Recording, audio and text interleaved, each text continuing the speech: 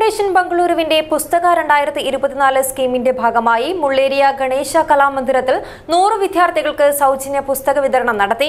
കാരടുക്ക ഗ്രാമപഞ്ചായത്ത് പ്രസിഡന്റ് ഗോപാലകൃഷ്ണ ഭട്ട് ഉദ്ഘാടനം ചെയ്തു.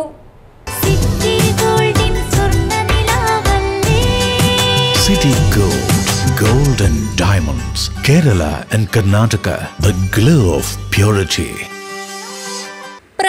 Foundation ബംഗളൂരുവിന്റെ പുസ്തക രണ്ടായിരത്തി ഇരുപത്തിനാല് സ്കീമിന്റെ ഭാഗമായി അസ്തിത്വം പ്രതിഷ്ഠാനം കുണ്ടാറിന്റെ നേതൃത്വത്തിൽ അയോധ്യ ഫ്രണ്ട്സ് മുള്ളേരിയ മുള്ളേരിയ ഗണേശ കലാമന്ദിരത്തിൽ നൂറ് വിദ്യാർത്ഥികൾക്ക് അമ്പതിനായിരം രൂപയുടെ സൗജന്യ പുസ്തക കിറ്റ് വിതരണം നടത്തി.